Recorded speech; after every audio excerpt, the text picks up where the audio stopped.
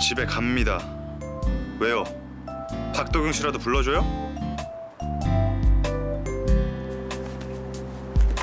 뭡니까? 울면 못생겼단 말이에요.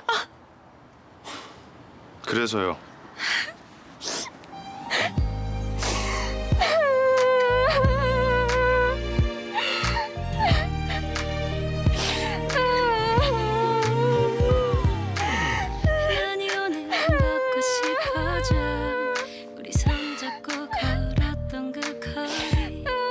자주 가던